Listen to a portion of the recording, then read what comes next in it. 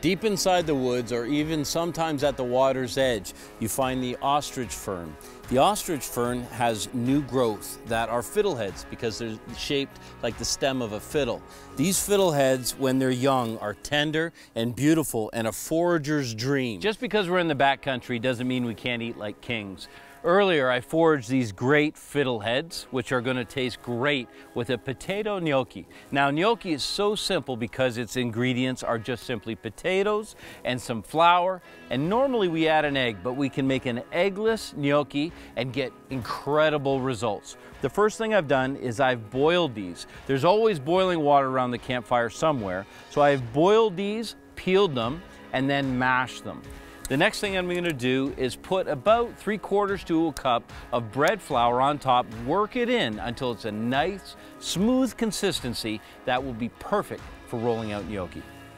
With the dough kneaded and brought together, I wanna show you how easy it is to make these beautiful little pillows.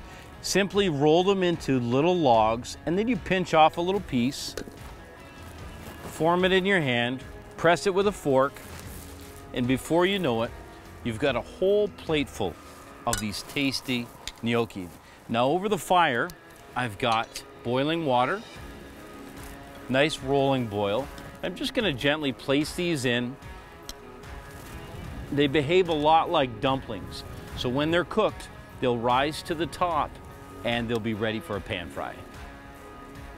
With the gnocchi nearly finished, I've got a nice hot cast iron pan just a little bit of extra virgin olive oil. And then in go my clean fiddleheads, minus the pine needles. Those begin to cook immediately. Just a little bit of salt. Bring out the natural flavor.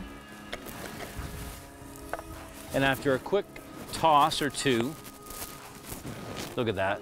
They crisp up so nicely in that cast iron. The gnocchi is nearly ready to go directly in the pan. They're just starting to float now, and I want you to see the texture. Whew, it's hot. But what we have is a beautiful little dumpling. Those are gonna go directly into the pan, and I'll saute them until they're golden and crisp.